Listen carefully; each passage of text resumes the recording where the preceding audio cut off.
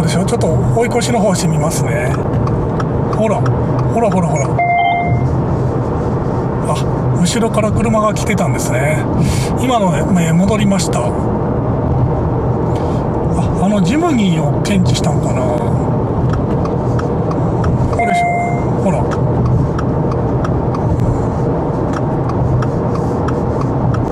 ほらほらほら。ちゃんとね前後の安全を確認して、えー曲がってくれましたこれは使える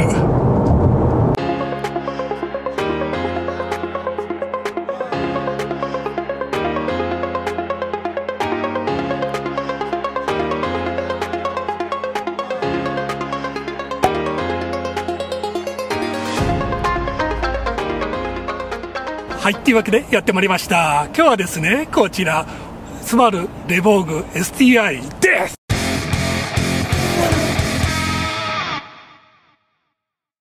バルレボーグ STI スポーツ EX こちらねあのカー・オブ・ザ・イヤーを受賞した車になりますよねまあ、このレボーグ2代目となるわけなんですが、えー2020年の11月26日に発売しましたよね。もうね、結構街中でよく走ってるの見ますよね。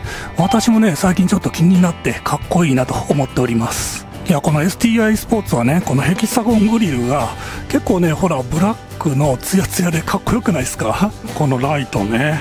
ヘッドライトの中がこのブラックアウトされてこのほらシルバーのね加色が追加されてかっこよくなってますよね。えボールダーっていうねデザイン新コンセプトを採用してるということでなんかね結構走るぞというような感じしますよね。ほら横から見たシルエットもねなんかちょっと前傾姿勢に見えますよね。おけつがちょっと上がってるっていう感じの。意外とねなんか女性にも受けそうなこのカラーリング。最近ねよくアウトドアとかでこういう色も流行ってますよね。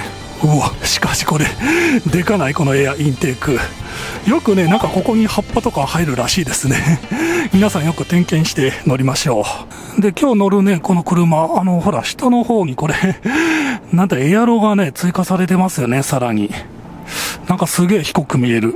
そうそう、レボーグってね、結構ね、ボディサイズがいい感じなんですよね。全幅がね、1795ミリで、あの、なんと1800切ってます。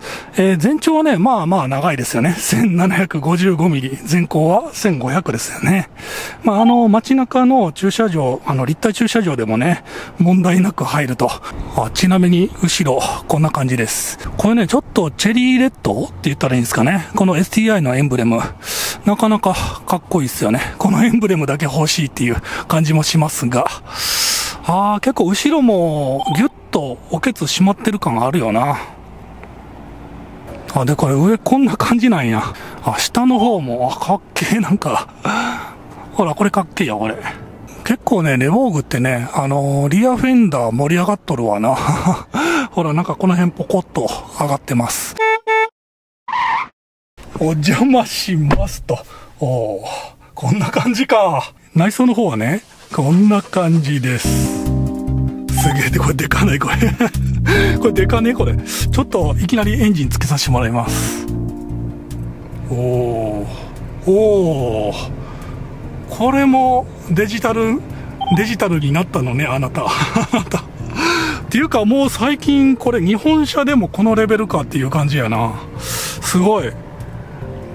ちょっと某テスラさん的な感じではありますが、縦型のセンターパネルが11.6インチですね。これは12.3インチですね。ホンダ E とだいぶ違うけど、この液晶が、液晶が結構大きいよね。あちなみに、とちなみに私のホンダ E さん。はい。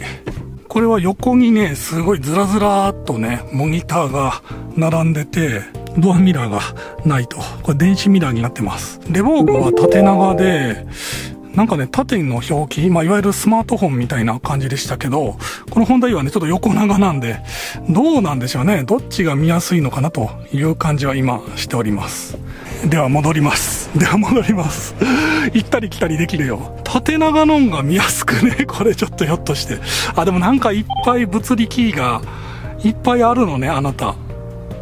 そうそうそうそう。あの、ホンダ E ね、あの、全部、スタイリッシュで、モニターが横長でいいなと思ってるんですけど、物理キーがね、実は少ないんですよね。その辺がね、このスバルさんまだこれ残してる感じしますね。実際こっちのが使いやすいっていう問題はあります。あなんかいろいろこっちはあここまで液晶なんや。へえ。革シートね。結構ホールディングいい方です。スバルはね、あの、リアトロニックっていうらしいんですよね。あの、ギアを持たない CVT ですよね。えちなみにね、あの、WLTC モードで、え13.6キロパーリッター走ります。これ、ハイブリッドモデルがないんですよね、実はね。なので、まあ、その辺、しょうがないかなという感じもしますが。あ、そうそう、後ろがね、広いんよね。あ、なんか、扉も、あ、へえ、こんな感じか。なんかね、重すぎず、軽すぎずって感じ。リアも結構しっかりしとるわ。あそうそうこれね確かリクライニングできるね。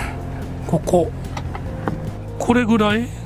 あこれがあ結構いくんやな。ほらこんな感じ。あのゆったり。あの身長が大きい人はこの頭がね当たっちゃう問題が実はあって。これリクライニング。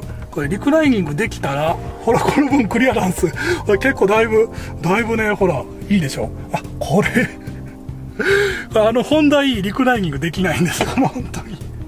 うわ、マジか。めっちゃええぞ、これ。えちなみにこちらの車409万2000円です。いや、いいよね。これすげえ売れてるらしいです、今。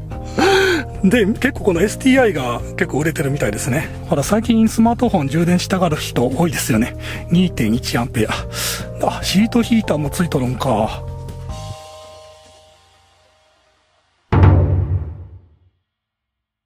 え今日はちょっとあの同乗者が一緒にあのヒデちゃんです。よろしくお願いします。ヒデちゃんでかいですよね本当に。いっぱいいっぱいじゃないですか。これでも186センチ、はい、足長、結構イケメンの方で。でこれちょっとね今日はあの今から、えーと、元町の方まで運転します。これアイサイト X 今ちょっと暑かったんであのこれなんかあれですよね。コンフォートにするとマイルドあそうそうこれマイルド結構女性の方にこれね受けてるみたいでえこれマイルド あなんかマイルドと言われたらマイルド直接当たんない 若干気持ちかな？気持ち。かな？まあそれよりもあれですよね。これドライブセレクトモードがすごいスポーツモードスポーツプラスインディビジュアル。自分でカスタムができる。サスペンションがすごいスポーツコンフォートノーマルこの3つから選べるんですね、はい、いやこれなんかコンフォートがいいっていう噂を聞くんでこれにしといたらもう一番やばいやつなんですね、はい、じゃあ一旦これで 行ってみましょう。では市場の方してみようと思います。今日も安全運転で行ってみようと思います。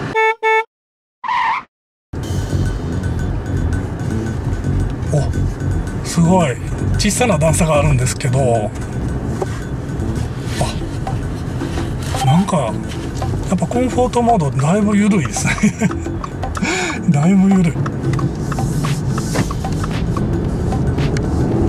あ急にターボが効く。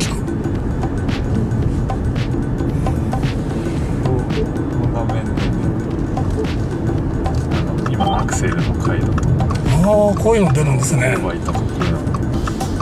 れアイサイト X は一般道では無理なんでしょうっけ？はいダメです。